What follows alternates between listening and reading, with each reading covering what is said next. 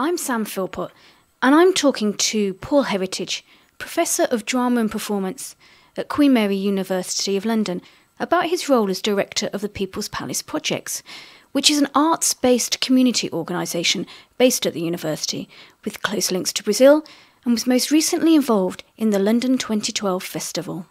Professor Heritage, can you tell me more about the People's Palace projects? We decided that it'd be really good to have a, a research centre that's about arts in applied social settings because that's where a lot of my own research had been.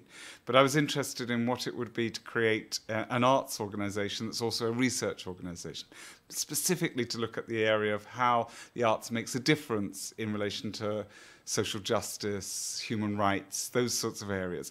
Throughout the whole time that we've been working, it's always been local, it's always been international. And for about 20 years, my own work has been based in Brazil. So the People's Palace Projects has taken on this characteristic of building very strong cultural links between the UK and Brazil during the first 15 years that were very much related to criminal justice system, to public security. So we ran a lot of projects working in the Brazilian prison system, working in youth justice system, and then out of that working with young people in marginalized communities within Rio. And of course, those are just the same sort of things we're interested in here in the UK. What can the arts do when we have uh, any set of social crises, which could be around knife crime or gun crime, around prisons, around human rights? These are issues we share with other countries. So, how do cultural projects and collaborations with countries like Brazil make a difference, especially in light of recent protesting in Rio on civil rights and public services? I think what's been really interesting and challenging for everyone around what's been happening in Brazil is obviously is it started to rethink the social organization itself. It's challenged the fabric when people go of a city, when people go onto the streets and make their demands in that way rather than through other processes. So saying how a society talks to, its, to itself, how it makes its point known, how it sort of dramatizes lives in a different way through street protest and finds a voice in a different way. These protests will mean a lot of different things to different people, but one thing they will, I think, encourage Brazil itself to learn from is that participation in the process of change is really important. And that's interesting because, in many respects, what, one of the things that uh, the arts organizations this company, country have looked to Brazil a lot has been about their participatory processes.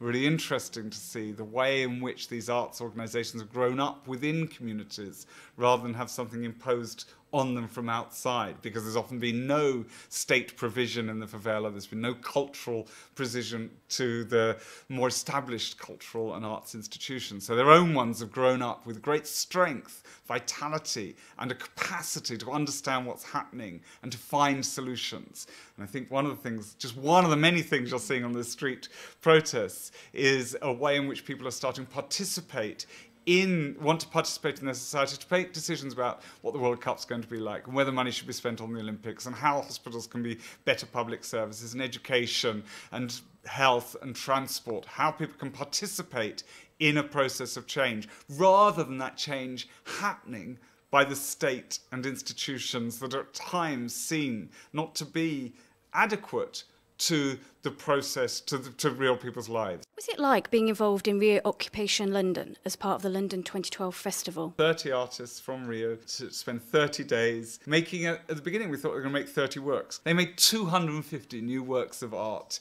We performed to nearly 40,000 people.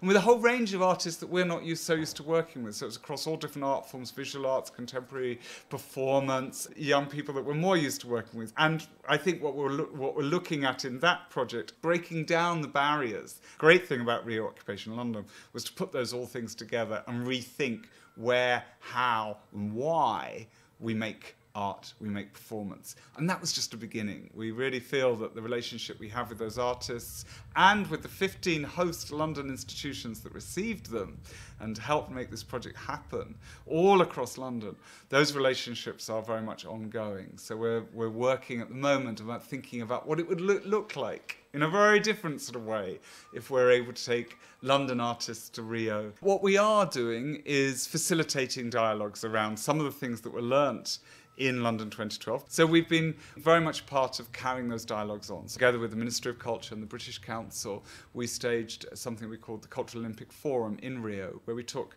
12 of the key leading thinkers and makers from the Cultural Olympics here, start new dialogues with about 300 people from different cultural agencies, organizations in Rio and beyond Rio, to think about what Cultural Olympics might look like in 2016. So I think that as an organization, one of the things we most enjoy enjoy doing is helping people talk to each other and to think in different ways. I hope that Rio can do things differently as well as learn from what we're doing. I think it's very much about passing a baton over, but it being a very different, but looking very different. One of the things that these protests have been saying in, in Rio has been has questioning the whole business of the World Cup and the, the expenditure on the on the Olympics. So it's a very critical time. Perhaps as a result, uh, perhaps we didn't have those conversations in quite such a dynamic way as Rio's been having them. So there's a sort of way in which they're taking on some of the things that we might also want to reflect back on. So as ever, I see these as journeys and I see this as dialogues and I see it as this as axis that, uh, that we work on between the UK and Brazil, between London and Rio.